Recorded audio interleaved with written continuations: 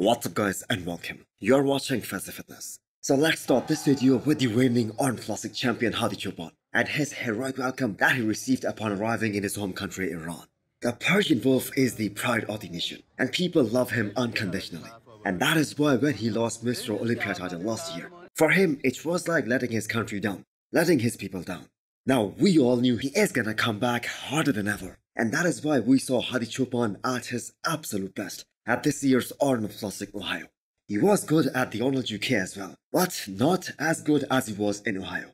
But considering all the factors of not getting his visa on time, having to travel at the very last minute, and then just having 24 hours for the entire peaking process, and still bringing a package that was good enough to win the Arnold, and to hold off a guy like Samson Dauda. Not to mention a very much improved Samson.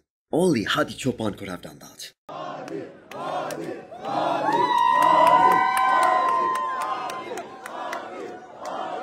So when was the last time someone won the Arnold Classic and Mr. Olympia during the same calendar year? It was Brandon Curry and that happened back in 2019. Because this is something that we see very rarely. It happens once in a blue moon. Phil Heath during all his 7 years of Mr. Olympia reign, he was focused on just one show, defending his Mr. Olympia title. And so was the case with Jay Cutler. Dexter Jackson won the Arnold and the Olympia in 2008. And before that, the greatest of all time, Ronnie Coleman accomplished the same back in 2001. And that Olympia prep and his look in 2001, that was probably one of the most vulnerable looks of Ronnie Coleman's career. I mean, he almost lost the title to Jay Cutler that year. So history has shown us that it is very hard to win two of the biggest shows in bodybuilding in the same calendar year. Because these shows are months apart. But here is another fact. If there is someone who can do it, it is Hadi Choopan. The love and the support that Hadi gets from everyone is absolutely unmatched. We saw the same trend with Big Ramy when he won the Olympia in 2020 and in 2021, and even when he lost the Olympia title in 2022, when he placed 5th, even then his welcome was so heroic. So things on the other hand are quite different for people in the US and in UK, and they really wish that they had the same kind of support. So I think Hadi Choopan will be fired up even more after this homecoming and we have every reason to believe that he is going to be better than ever at Mr. Olympia 2023.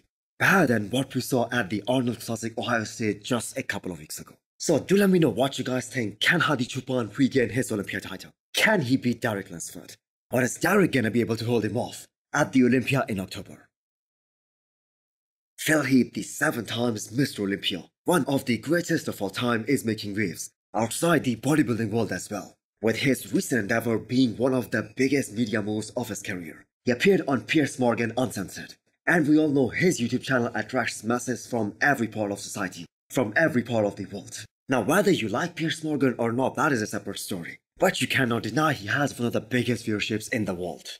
So Phil Heath, as a former Mr. Olympia, who is a very well-spoken man, he would have surely painted a great picture of bodybuilding, not just for the bodybuilding community, but for everyone out there. This will surely attract more crowds towards bodybuilding. And I think every bodybuilding media outlet, every platform should support this and should repost this. Phil led an era of bodybuilding that we may never see again. Because this is a step in the right direction for bodybuilding. This interview is gonna help Phil Heath market his upcoming documentary, Breaking the Olympia, which airs in less than two weeks' time. And not only just that, this will help the sport of bodybuilding get more exposure as well. And this is gonna help the sport of bodybuilding to get bigger. Just a few weeks ago, we saw Chris Bumstead on Jordan Peterson's YouTube channel. And things like these are really important for the sport of bodybuilding. This is how this sport is gonna grow. This is how bodybuilding is gonna get more exposure. This is Philip Gerard Heath. I'm a seven-time Mr. Olympia. And I'm going after number eight. The Mr. Olympia is and forever will be the greatest bodybuilding show on the planet. Next up, we have a physique update of Stuart Sutherland aka Beef Stu, who is gonna do the York Pro in about 9 weeks time. And he looks on target in every aspect. The size, the density, the conditioning, all the boxes are checked. So Stu was the runner-up at the York Pro last year. And he did only two shows last year, the York Pro and California Pro. And he shut down the season after Cali Pro, and he went back to the drawing board. So that he could focus on improving his physique and have a very big long off season. And I have to say that was a very productive off season. He wanted to work on some weak areas of his physique, like his hamstrings, like his abductors. And we have to keep in mind Nick Walker is doing the near pro. So each one of these guys, including Stuart, they must have a plan B. The aim for Stu is obviously winning his first pro show and qualify for the Olympia. Which isn't gonna be easy because we have a bunch of very, very good bodybuilders who have yet to qualify for Mr. Olympia 2024. Just take a look at this year's Arnold Classic lineup. We have guys like Kim Williams and John De La Rosa for instance. These guys are yet to qualify for the Olympia. So it is gonna be really difficult for a lot of these guys to even get their Olympia qualification. So Stu was really impressive last year, specifically if we compare him to the previous versions of himself. He made some very great improvements in just one year and we expect him to see bigger and better than ever whenever he steps on stage in summer in 2024. So this next physique update is of the youngest IFBB pro who competes in the men's open bodybuilding in these current times. Jose Manuel aka Josema Beast, who is most probably gonna represent his country at Empro Classic Spain, that is scheduled to be held in June. Which means he's probably gonna face Michael Krizo as well as Behrouz Tabani at that show and that is gonna happen in 12 weeks time. Now I am only speculating about his contest plans, but Empro Classic Spain seems like a good show for him to compete in, considering that it is gonna be in his hometown. So Jose made his pro debut last year. That was also at Empro Classic Spain, where he was able to place a very impressive top 4, beating a guy like Roman Fierce. And keep in mind, Roman Fierce was able to qualify for the Olympia later in 2023. So Jose is also one of those very tall guys. So it is gonna take him some time to fill out his frame, to fill himself up properly. Now he isn't as muscular from the front as some of the other guys that he is gonna go up against here at Empro Classic. But when he turns around, when he hears those back shots, even last year everyone was so shocked to see his tremendous back development. Because the guy is just 21 years old.